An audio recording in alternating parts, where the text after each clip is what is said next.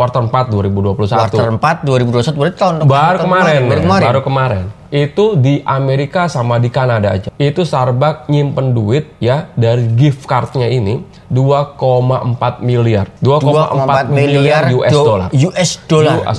Bayangin, dia dapat duit ya 2,4 miliar US dollar gratis. Dan itu bisa diapa-apain sama dia ya? Terserah dia. Kopi dulu bro, mau yang mana bro? Ada dua. Creamy vanilla latte sama klasik caramel macchiato. Ya mau yang mana nih? Gue coba yang klasik, gue coba yang klasik. Tapi sebenarnya kopi gue americano. Oh, americano ya? Americano Starbucks. Jadi Starbucks juga. Itu Starbucks. Jadi Ini Ameri- dia bawa sendiri nih. Oh iya, bawa sendiri. Gak janjian kita. Nggak janjian kan? Kita sehati kayaknya. Tapi ente sehati sama siapa aja ternyata. Oh. Starbucks aja. Eh, Starbucks aja ya. Satu aja satu. Nah, teman-teman, ada yang menarik ya kalau kita Iya. bahas Starbucks ya. Iya. Tadi obrolan tadi tentang resesi ya. Iya, iya. Tengah obrolan itu sep- eh, sebelum kita ngobrol itu ada satu hal yang menarik bahwa Starbucks itu ternyata bisnisnya itu ternyata bukan kopi, tapi bisnisnya adalah sebuah bank. Dan duit yang ada di Starbucks ternyata lebih gede daripada uang yang ada di Bank Dunia. Yuk kita bahas bareng Mas Yusak.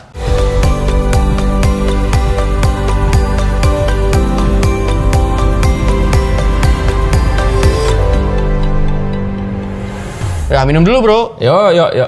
Oke bro. Hmm. Nih, Insya Allah. Ya, ya, ya. Oke, gimana bro? Ya, oke. Jadi eh, ya tadi ya bahasannya ya. Apa sih bisnis Starbucks kan gitu? ya? Apa sih bisnis Starbucks? Ya pasti bisnis kopi lah. Ya, Yang aneh tahu juga itu. gitu kan. Ah, coba kita lihat gini deh, kita lihat gini.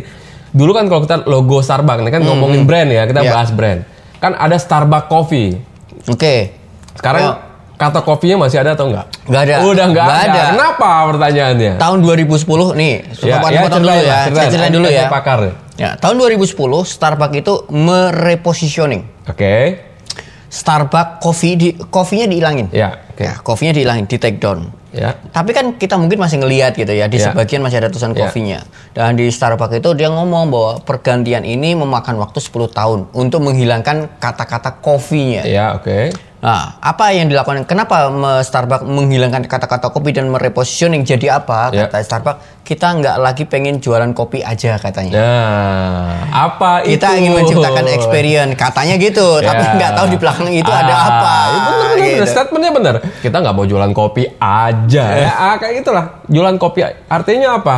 Karena kita lihat ya. Kebetulan saya ini paling suka kalau saya lagi senggang, mungkin teman-teman kan punya hobi ya macam-macam Hmm. ya. Ada yang hobinya baca buku. Saya tuh paling hobinya tuh baca laporan keuangan perusahaan-perusahaan itu gitu. Tuh, bisa tuh. bacanya laporan keuangan perusahaan Iya, bongkar-bongkar gitu. Iseng aja pengen Bukan tahu. keluarga lain ya? Ya, enggak lah, enggak itu. Oke, jadi perusahaan-perusahaan yang yang menarik. Nah, salah satunya adalah Starbucks. Oke. Gitu ya, Starbucks. Jadi eh kita bisa bayangin gini ya. Jadi memang Starbucks ber- meng- tidak mendeklar bahwa dia adalah sebuah Hmm. bank begitu ya. Dia adalah sebuah yang bawa. Tapi kalau kita lihat ya, ya saya bilang Starbucks itu pegang duit cash lebih banyak dibanding banyak bank ya di dunia. Jadi Starbucks, saya ulang, Ya. Starbucks Peg- pegang pegang, duit. duit, lebih, Lebih banyak, banyak dari daripada, banyak bank. daripada banyak bank Iya. di luar sana. iya. Ente tahu dari mana? Nah, Oke, datanya kan kita bisa lihat ya. Ntar, ntar, ntar kita, kita share ya datanya ada ya. Pertama nih, ya pertama dia punya member 26 juta. 26 juta member. 26 juta Kartu member. member mana tuh kartu member kayak apa? Ada nggak kartu membernya nih? Membernya sebenarnya ada di aplikasi sebenarnya. Kita udah ada aplikasinya. Saya install aplikasi, saya punya kartunya, saya punya tumblernya, ada lengkap, lengkap banget. Nah, nah ini Starbucks Oke, card. ini Starbucks card nih. Ya. Ini kartu member nih. Kartu ya, mem itu nama ah, ya ya nama eh, eh, loyalty, card Loyalty ya, card. loyalty card, gift card. Dan isinya duit nih. ya? Duit. Ente naruh duit di sini. Iya.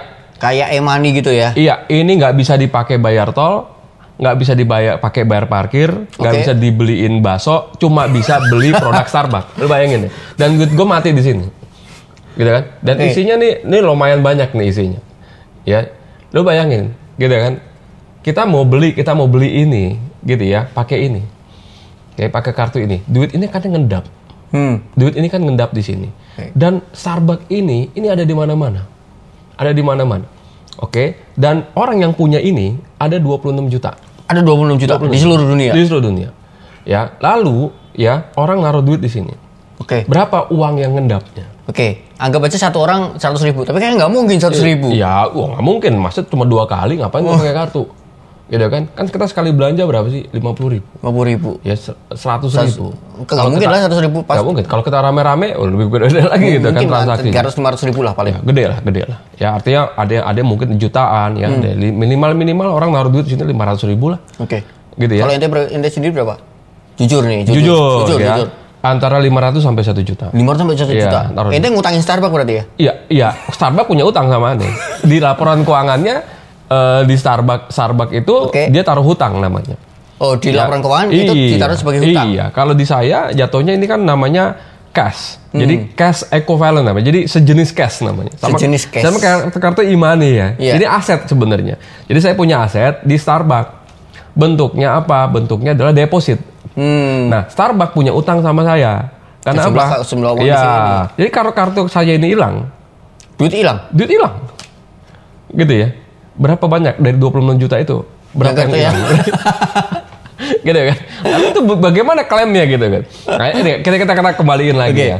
Oke, jadi Starbucks itu eh, menurut saya more bank eh, than many bank kalau bahasa Jadi eh, lebih bank dibanding banyak bank. Oke, ada berapa sih ternyata kalau yang ente tahu dari laporan keuangan Ya, kan ya, ya, ada ya. berapa tuh? Data yang terakhir kuartal 4 tahun 2021 ya. Kuartal 4 2021. Kuartal 4 2021 berarti tahun baru tahun kemarin, baru ya, kemarin. baru kemarin. Itu di Amerika sama di Kanada aja. Itu Amerika dan Kanada aja. Itu Starbucks nyimpen duit ya dari gift cardnya ini itu 2 ko 2 eh, sorry 2,4 miliar. 2,4 miliar US do- dollar. US dollar. US dollar. 2,4 miliar US dollar. Gila. Itu cuma Amerika sama Kanada aja. Ya, Amerika sama Kanada aja. Belum Indonesia. Bu, belum semuanya. Belum seluruh dunia, ya? Indonesia. Dan ente tahu nggak kalau di di di Saudi juga ada Starbucks. Tahu lah. Ente kalau umroh atau ada Starbucks. Di Tahu. Madinah di Madinah ada Starbucks Ada di pojokan itu Iya. kan. Di di Mekah di apa di Jam Jam Jam-jam Tower, Tower, iya. itu Starbucks. Ada di mana-mana. Gitu, ada di mana-mana dan itu duit yang tersimpan. Dan menariknya bedanya dengan bank. Makanya saya bilang tadi Starbucks is more bank than than uh, uh, uh, many bank. Kenapa? Kalau misalkan ente naruh duit ke bank, ya toh, apa yang dilakukan? Apa yang dilakukan sama bank agar orang mau, mau naruh duit? Ngasih bunga, ngasih Bunganya bagi hasil. digedein gitu kan? Iya, bener. Bunganya digedein. Wah, bunga Tapi digedein. bunga riba bagi hasil. Eh udahlah, bukan. Gak bisa pakai. Ya, ini kita ngomongin soal semoga soal itu ya. Jadi bagaimana bank eh, narik duit? Ah. Ya artinya ngasih bunga, return ya Hmm. yang lebih besar. Misalkan lebih besar dari bank lain, akhirnya duit pindah masuk ke dia. Banknya dia. artinya, Oke. misalkan Mas Dodi naruh duit di bank 10 miliar. Oke. Nah, bank kan punya kewajiban untuk ngasih Bunga. bunganya. Betul. Ya, ada artinya uangnya Mas Dodi itu nggak gratis Yes. ada biayanya Bener dari banget. sisi bank. Nah, sekarang Starbucks naruh duit ini. Gratis dia dapat duit. Bayangin, dia dapat duit ya 2,4 miliar US dollar gratis. Dan itu bisa diapa-apain sama dia ya? Terserah dia. Sel- Pokoknya kalau gue beli Starbucks, ya dia cuma ngasih kopi aja, ngasih kopi, ngasih ma- makanan, meal segala macam. Ya itu pun makanannya bayar. Iya. Maka, Iya, bukan, bukan bayar. kopinya kan bukan gratisan Iya, juga nggak- kan? Ya, nggak gratis kan motong ini. Motong ini. Jadi sebenarnya dia dapat dana gratis. Ya, dari member-membernya dia. Dan duitnya itu ya coba lihat ya. Karena apa sih bisnisnya bank? Bank itu kan jual beli jual beli namanya cost of money namanya. Jadi gini. Misalkan Mas Dodi naruh duit 10 miliar ke saya, saya kasih bunga 6%. Oke. Nah, lalu duitnya Mas Dodi kan saya jual lagi. Yes. Diutangin ke orang lagi. Ya. diutangin ke orang. Lalu uh, dia harus bayar bunga ke saya 12%. Oke. Artinya saya untung. berarti 6 persen. Eh, dapat untung 6% toh. Ya. Jadi duitnya Mas Dodi kan saya jual lagi. Nah, sekarang Starbucks dapat duit dari 26 juta membernya gratis. Nggak nol, bayar. nol, nggak nggak bayar, gitu ya. Lalu, lalu dia mau taruh di mana? Dia invest ke mana Dia ya? taruh di bank aja, dia udah untung tuh dari kopinya itu. Dia duit kita ditaruh di banknya aja, dia udah untung. Pertanyaannya, untungnya kopi sama untungnya dari duit itu besar- besaran mana? Mungkin gedean Mungkin. dari itu. Asik kopi. Itulah kenapa sama dia, ya. Udah tuh kopinya ini berapa sih HPP-nya? Oke. Ya, berapa ya, sih ya, harga ya, jualnya? ya, Ya, kita nggak ngomongin itu lah. Pasti untungnya gede banget dari situ. Di luar dari situ, keuntungannya dia dari bunga gede banget. Itu baru dari bunga dan nggak mungkin duit sebanyak itu hanya Didiemin di- doang ya? Di, di, di, di instrumen yang yang yang yang yang apa risiko rendah. Pasti dia juga investasikan ke risiko, yang risiko tinggi. Contohnya apa? Mungkin nggak ya mungkin nggak duitnya itu juga ditaruh di venture capitalist. Sangat mungkin. Sangat mungkin. Bisa nggak ditaruh di private equity? Sangat mungkin. Jadi bisa juga dia taruhkannya. Bisa nggak dia lakukan untuk akuisisi? Bisa juga. Jadi banyak banget yang dia akan bisa lakukan dengan duit gratis Iya. yang didapat. Jadi menurut saya ya Starbucks itu neobank. Dan sekarang wah banyak banget lah yang bisa dilakukan dengan cash. Wow, itu keren banget ya. Artinya gini, ini kita udah ngomongin fenomena Iya, Starbucks iya, ya. iya. Kemudian kita balik lagi ke teman-teman UKM. Iya. Ini kan kayak bumi sama langit gitu ya. Iya, iya, iya. Kemewahan-kemewahan, fasilitas-fasilitas yang bisa di Iya. Starbucks. Apa nih yang bisa di eh, apa namanya? Apa yang bisa dilakukan Iya. teman-teman UKM sekarang nih? Iya. Supaya bisa mendapatkan hal-hal yang mirip-mirip lah dengan Starbucks. ya sebenarnya gini sebenarnya itu sangat memungkinkan buat kita ya buat buat buat buat kita para pelaku usaha cuma gini ya saya harus akui bahwa literasi keuangan untuk UKM di Indonesia ini sangat kurang kalau kita lihat tadi gamenya gamenya oke Starbucks udah melewati fase positioning, udah udah nggak udah nggak ikut workshopnya Mas Dodi lah itu, gitu kan, Udah selesai itu. ya kan, Eh, terus product development, aduh nggak nggak perlu ikut lagi, apa namanya pro uh, launching malah- launching produk launching gitu, Udah nggak ikut dia dewa. nggak ikut udah nggak ikut lagi dia. Dia malah bisa ciptain teori baru. Iya dia bisa ciptakan teori baru. Yang gitu. untuk bahan workshop Iya. aneh. Betul. Jadi dia nggak dia nggak dia udah lewat lah fase itu ya. Pricing strateginya segala macam distribusi channel, road to market. Aduh, udah dimakan habis sama dia. At the end apa sih gamenya? Keuangan. Iya. Jadi ujung dari bisnis gamenya adalah game keuangan. Oke. Nah ini yang yang akhirnya saya bilang UKM itu kurang literasi keuangannya. Kenapa? Akhirnya bisnisnya mentok. Iya. Jadi saya bilang gini, bisnis UKM di Indonesia ya kebanyakan yang saya temui yang growing sebagus-bagusnya gitu ya 30 miliar setahun, 50 miliar setahun. Habis itu nggak banyak. Habis itu nggak banyak. Nggak banyak jumlahnya. Ya, nggak banyak jumlahnya. Kenapa? Karena gamenya kalau bisnis kita udah 50 eman setahun, gamenya udah bukan jualan produk. Udah nggak nguas positioning lagi. Udah udah nggak ikut workshopnya Mas Dodi harusnya. Ini bisnisnya udah 100 miliar masih ikut kelas Mas Dodi gitu kan ngapain? Enggak, enggak bukan gitu ya. Maksudnya gini. Itu gamenya udah keuangan. Ya, gamenya udah keuangan, harusnya diperbaiki dan dibuat yang namanya model. Ya, Iya. keuangan itu mau kayak gimana? Gamenya apa? Apa potensinya? Itu bisa kelihatan tuh dari laporan keuangan historis dibaca. Oh, ternyata ada potensi sini, ada potensi sini, ada potensi sini. Yang itu nggak kebaca ya. Iya. Kalau orang masih ngajarin upselling, cross selling, gitu kan? Dia udah nggak udah ngajar, udah udah melakukan bagaimana mau cross selling kek, mau upselling kek, bodo amat. Pokoknya gimana caranya duit dia pindah ke rekening kok. Itu yang dilakukan. gitu. Dan ini kan sekarang udah banyak. Ya, eh, eh, kayak GoPay. Iya. Ya. Bener. melakukan itu. Semuanya karena apa? Ujung-ujungnya siapa yang pegang cash? Siapa yang pegang cash? Mau resesi kayak gimana sekarang yang pegang cash gua. GoPay berapa pegang cash? Ya, Starbucks eh, gila dia pegang cash. Jadi sebenarnya bisnis harus pikir gimana caranya kita pegang cash. Nah, cash itu sumbernya nggak harus dari penjualan. Terus dari mana kalau nggak ada jualan? Emang dia jualan ketika dia ini? Enggak, ini kan belum terjadi Oh penjualan. iya, nggak harus dari penjualan ya. Iya. Dia nggak jualan. Oh iya, jualan bener itu kan juga kalau ya. beli kopi. Iya kan? Karena gua, dia dapat cash gua padahal dia nggak jualan gitu. kan lebih gila kan sebenarnya kan. Ini lebih gila. Nah, ini ini ini ini fenomena. Dia memang harus harus dibangun. Hmm. Ya, harus dibangun eh, apa bisnis jangka panjang. Saya katakan lagi, literasi keuangan ini penting, teman-teman. Kenapa? Untuk sustainability. Ya, untuk sustainability. Brand penting ngebangun brand. Hmm. Karena apa? At the end of the day, Starbucks hanya bisa melakukan kegiatan ini setelah brandnya dikenal. Betul sekali. itu yang mau ngomongin tuh. Saya selalu mengatakan gini, investasi yang harus wajib adalah bangun brand. Wajib itu. Karena kalau itu udah terjadi, berikutnya adalah orang keuangan yang ngerjain. Orang keuangan yang ngerjain. Jadi saya hanya bisa ngerjain kalau brandnya udah bagus. Uh, mantap. Bisnis itu bisa tiga kali, empat kali itu gamenya game keuangan, gitu loh. Nah di US, di luar, ya UKM itu, itu mereka ngerti semua soal keuangan. Saya nggak tanya di Indonesia lah, siapa siapa bisa dibilang the next Indonesian Starbucks? Abnormal mungkin? Abnormal, hmm, oke bisa ya bisa enggak lah. Siapa sekarang bisnis kopi retail, Eh, janji jiwa, kopi kenangan. kopi kenangan. Kita ngomong kopi kenangan. Ya, ada di mana-mana. Dapat funding sekian triliun. Pertanyaan saya, foundernya, backgroundnya apa? Nggak tahu. Keuangan. Coba cek di LinkedIn-nya. Dia oh, investment analyst di mana segala macamnya begitu buat kopi kenangan, bet, beng, gede. Kenapa? Karena dia tahu gamenya. Bukan backgroundnya barista ya? Wah, bukan mana barista, nggak ada, nggak ada. Mungkin orang itu disuruh bikin kopi juga nggak bisa gitu. Sama dia, dia cuma tahu marketnya seberapa gede, lalu bagaimana gamenya, lalu bagaimana dia atur financial modelingnya. Hmm. Gede dia. Orang berpikir bagaimana buka cabang, pakai kemitraan, nyari reseller, ah jadul.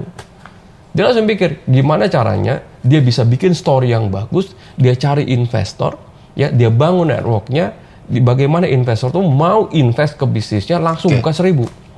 Apa yang terjadi kalau udah seribu?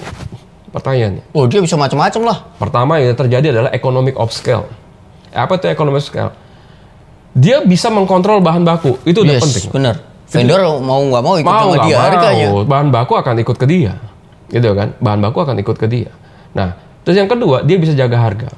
Ya karena terjadi economic of scale apa kenapa salah satu entry barrier Coca-Cola apa? Economic of scale udah di mana-mana nah kan? Itu dia akan dilakukan. Yang kedua manfaatnya lain adalah member. Dia bisa bangun ya Iya. custom eh, eh, customer eh, eh, database customer Ya duit lagi duit lagi kayak gini bisa lagi nih. Nah, itu makanya. Itu ujung-ujungnya apa sih? Ini juga gitu kan.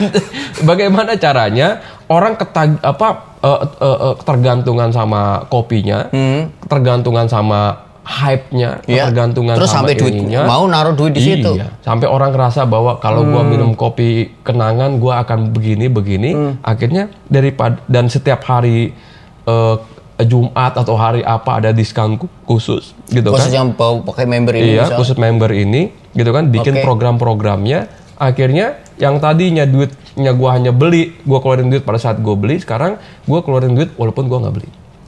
Ujung-ujungnya jadi bank lagi. Kenapa sih harus jadi bank? Kenapa harus pegang duit? Nah, kan saya bilang tadi jawabannya tadi tuh di video sebelumnya. Pemenangnya adalah yang pegang duit kan gitu kan. Iya iya benar benar benar benar. Nah, jadi coba pikirkan gimana caranya kita dapat duit walaupun nggak jualan. jualan. Oke teman-teman, ini yang menarik ya. Eh, artinya kita bisa mendapatkan fasilitas-fasilitas seperti itu, Ya. privilege-privilege yang menyenangkan. Kalau bisnisnya udah bisnis sama brandnya bagus duluan, Ya, gitu kan ya. betul, betul. Bisnis dan brandnya keren, bisnis dan brandnya dicintai customer, customernya Ya. datang, customer mau rela membeli, rela Ya. rut- ritual ngebeli terus menerus, akhirnya untuk diminta mereka nitip duit pasti mau gitu ya. Iya, pasti mau loh. Karena dia udah tahu. Misalkan gini, sekarang gini ya, kalau kita ada member card untuk beli bensin, dan kalau setiap kali kita punya member, kita punya kartu ini buat beli bensin ya, buat kendaraan kita gitu ya, dapat diskon 10%, mau nggak bikin ini? Mau lah. Pasti mau. Artinya, orang itu sama, bisnis itu dibangun. Nggak bisa kita langsung bikin kayak gitu. Bisnis itu dibangun apa ya? Kita dibangun dulu, apa namanya, konsepnya mau seperti apa. Customer journey-nya mau kayak gimana. Lalu targetin tuh, bagaimana produk kita disukai, bagaimana produk kita dibeli, bagaimana orang repeat order, Ah. bagaimana yang tadinya beli sebulan sekali, sekarang seminggu sekali, bagaimana yang tadi seminggu sekali jadi tiap hari. Oke. Nah, sampai akhirnya orang tuh punya agenda. Untuk beli produk itu. Iya, gue beli ini dua hari sekali. Itu udah ada agendanya tuh. Artinya kan dia udah punya spe- dia spending ke situ. Iya, kan. iya, iya, iya. Nah akhirnya dia udah hitung nih. Sebulan gue ngeluarin duit satu juta. Kalau pakai member card cuma 800 ribu. Ya gue pakai member card lah. Hmm, Nah akhirnya gue taruh di depan. Mem- duit gue di depan gitu. Toh kalau nggak gue ini juga keluar juga kan gitu. Iya, kan. bener, bener. Keluar juga. Akhirnya itulah terjadi gitu. Dan itu membentuk ya. Itu membentuk akhirnya apa? Berduit itu kita pegang. Dan itu lebih dahsyat, lebih dahsyat. Kalau di teori namanya gini, teori keuangan ada yang namanya working capital cycle. Working capital cycle. Namanya itu itu teori keuangan. Apalagi Itu- Itu adalah perputaran uang dari modal kerja. Jadi gini, modal kerja itu adalah modal kerja. Jadi gini, kalau ente ngerjain eh, project, Hmm, ya ngerjain project, kan kita harus bayar orang, betul. ya Iya. orang pekerjaannya nih, atau kita juga harus bayar third party, Oke. ya Iya. pihak ketiga segala macam. Dan kita juga akan menerima pembayaran dari Iya. customer tuh. Nah, yang namanya working capital cycle adalah uang yang kita terima berapa lama uang yang kita bayar berapa lama. Misalkan kita terima duit 30 hari nih. Kita bayar ke eh, eh, pekerja, supplier dan segala macamnya itu misalkan eh, nol hari, artinya cash kita bayar. Iya. Artinya kita harus menanggung modal kerja dong. Selama 30 hari karena kita bayar cash Bener. ya. Nah, itu yang disebut dengan working capital cycle. Nah, sekarang kita ngomongin yang namanya eh, working capital cycle yang paling bagus tuh apa sih? Yang paling bagus adalah bagaimana Anda pun mendapatkan pembayaran dari customer cash. Cash, oke kita dapat cash. Dapat cash. Bayarnya tebo. Bayar ke suppliernya mundur. kan gitu kan. Nah, sehingga working capital cycle kita bagus. Nah, sekarang bagaimana Starbucks? Oh, ya dia dapat kayak gitu tuh. Ih, bukan, Bukan, cuma cash. bukan cash ya, dia bayar di depan. Orang naruh duit sebelum terjadi penjualan. Eh, Coba bayangin tuh. Itu lebih gila kan? Jadi bilang, jadi ini beyond working capital sih, gitu. kita bilang. Jadi oh, udah sadis lah kita bilang. Itu udah udah sadis. Dan dia hidup udah nggak dari situ. Ya makanya saya saya lagi kebetulan lagi tul- nulis Mhm. eh, sebuah artikel tentang eh, other business eh, apa ya, other income business. Apa itu other income business? Itu bisnisnya tumbuhnya di other income. Jadi kalau gini, laporan keuangan itu Oke. kan ada core income. Core income tuh revenue Pendapatan omset, utama ya. omset ya. Oke. Dikurangin HPP jadi laba kotor, lalu ada biaya operasional, Ya. baru ada other income atau pendapatan lain-lain. Iya. Ada perusahaan yang atasnya rugi, begitu ada pendapatan lainnya jadi untung bawahnya. Woi. Nah, itu namanya other income business tuh. Nah, saya bilang Starbucks Ada income bisnis oh, gede banget. other income gede banget. Malah jangan-jangan lebih gede daripada Bisa jadi, ya bisa jadi. Jadi other income gede. Jadi pikirkan other income-nya apa. Ya, nah prosesnya tetap teman-teman bangun brand tetap. Jadi nggak bisa Starbucks melakukan ini kalau kalau nggak bangun brand, nggak bangun distribusi Ya. yang begitu ya, banyaknya bangun brand juga bukan cuma bikin logo gitu kan, tapi bangun-bangun gitu ya. bangun bangun brandnya, Oke, bangun bro. customer experience. Bro, ini ini kan ngomongin tentang keuangan. Kalau mau belajar keuangan di mana sih? Belajar keuangan. Sama ini mau belajar gimana oh caranya? ya, mana ya belajar keuangan di mana? Ya ada workshop ya teman-teman. Jadi kita ada workshopnya, ada kelas, ada kelas gitu kan. Jadi cara cepet, cara smart, cara pinter teman-teman eh, belajar keuangan cuma dua hari ya sama lah. Jadi shortcut finance gitu kan. shortcut brand ini shortcut finance ya? Shortcut finance. Jadi eh, dua hari aja udah kayak belajar di MBA finance. Iya, tapi gini, ah, pengalaman saya belajar di tempatnya Mas Yusak adalah anda belajar keuangan tapi bukan dari sudut pandang orang keuangan. Wes. Nah, itu finance non Finance for, for non-finance. non-finance. Nah, Nah, jadi- anda belajar keuangan untuk pebisnis. Bahasa bahasanya tuh wah nggak bahasa bahasa langit, nggak bahasa bahasa planet Namex lah. Itu Iya, planet iya. bumi membumi banget sesuatu yang kita pakai sehari-hari. Oke, gitu teman-teman semuanya. Sip, sip, kita bahas yang lain nanti ya. Ya.